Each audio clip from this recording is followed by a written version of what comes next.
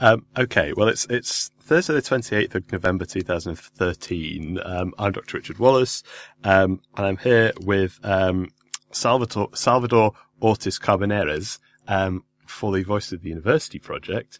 Um, Salvador, first of all, can I just say thank you for coming to see me or coming to agreeing to talk to me for this? You are very welcome. Um,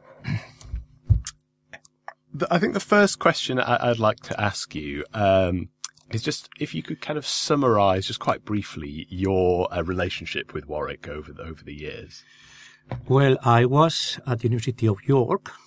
I was Spanish assistant there, but I was also studying teaching languages, modern languages.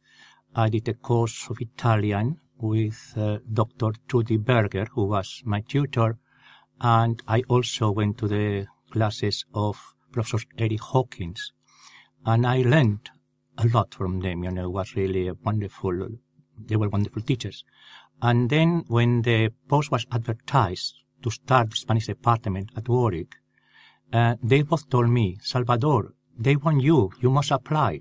And I say, no, no, I don't want to apply because I don't think I'm good enough for it. But they just uh, helped me and I applied and, and then I got the post and that was 1974. And I started the Spanish department at university with uh, Dr. Ray Calcraft, an excellent lecturer in literature. And I was in charge of the language because I am a language specialist. Um, we'll we'll come and, and you then you were here till 2008 in various in various exactly guises. exactly um, we'll come back to your time at Warwick in, very shortly um, but I think I, would quite like to hear more about the, the kind of your background really and the, the, the time before you arrived at Warwick so first of all could you could you tell me a little bit about where and when you were born well I was born in a small town rural town in Valencia Spain and uh, I first started wanted to be a doctor and then decided I could be a diplomat. And then I went to study to Valencia University. And then when I finished my degree, um, they told me that English was a very important language. I had done French in my degree. So um, I said, okay, I'm going to England.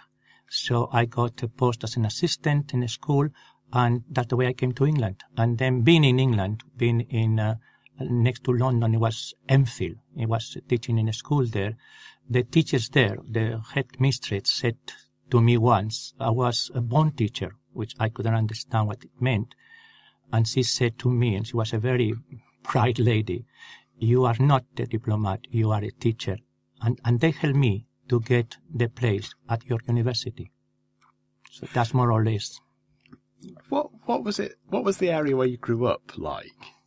It was a rural area. I mean, my father was a farmer, and um, and with the, all the people in town they were farmers, and I and I love and I still love being part of that town. I like, I I feel much better. It's funny I say that with my friends, the farmers of the sons of the farmers, that with academics. You know, I think I have more in common with my childhood, you know, the fields and the freedom and, and straight people, not sophisticated. But of course, I love teaching. What, what did your mother do?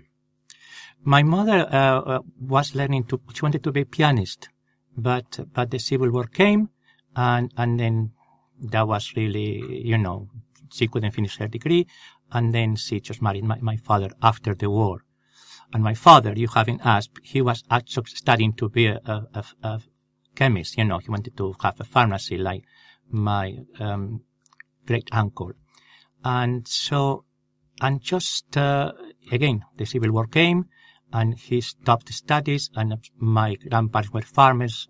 My grandfather said to him, "If you want to marry my daughter, you must become a farmer." And my father became a farmer how did, how did he feel about that? Did, did, did, did you ever sense that there was a kind of regret at, at not being a chemist or?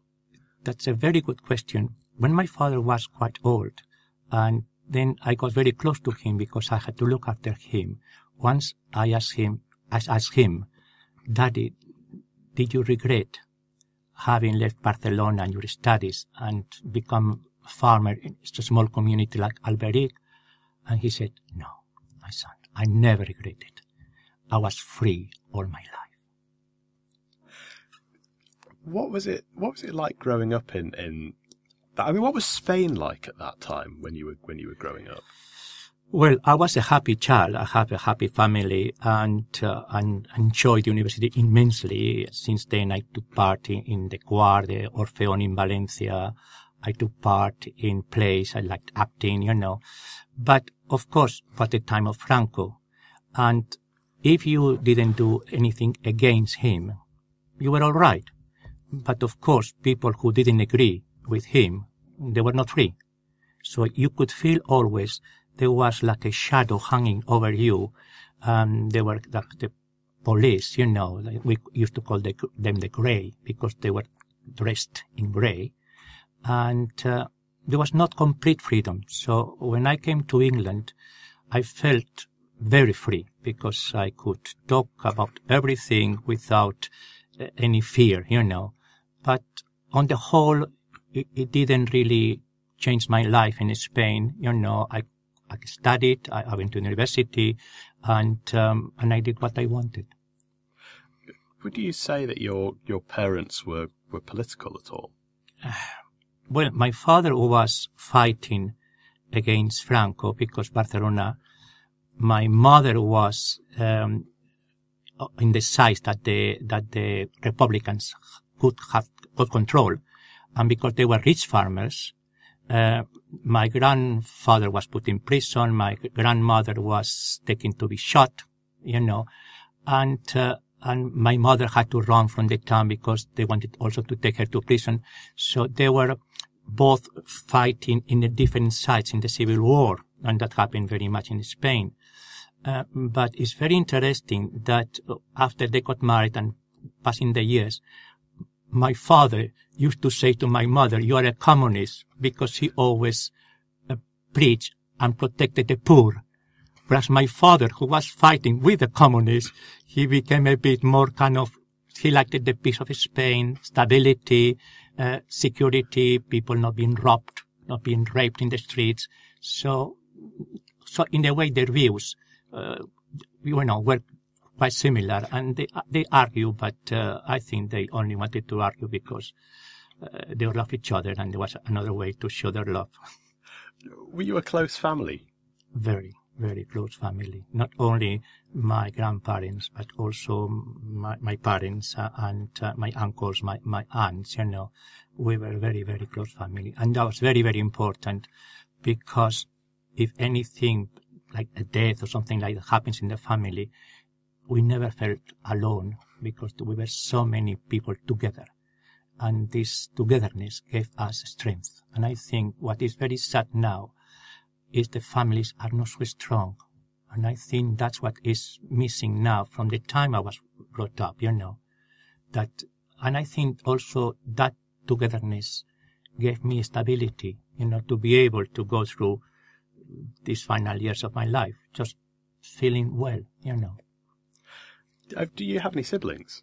Yes, I have a sister, but once the parents died, you, you know, the each one takes their own way. We were together until my mother died, but then uh, she went to live in Valencia, and then you know the things were divided, and so it just and of course she's already of the new era of that the family links are not as important as they used to be. Did you uh, enjoy school? Yes, I, I have always enjoyed school. I have also enjoyed the university because I like learning. And as long I went to the school and I learned something, I was happy. I would get bored if I didn't learn anything. And then, you know, but normally I pay attention and I always learn something, you know. That's where, when I was teaching, I always said the worst enemy is boredom the students must learn something every day, something useful, not something useless, you know. And, and, and, and I'm still learning now.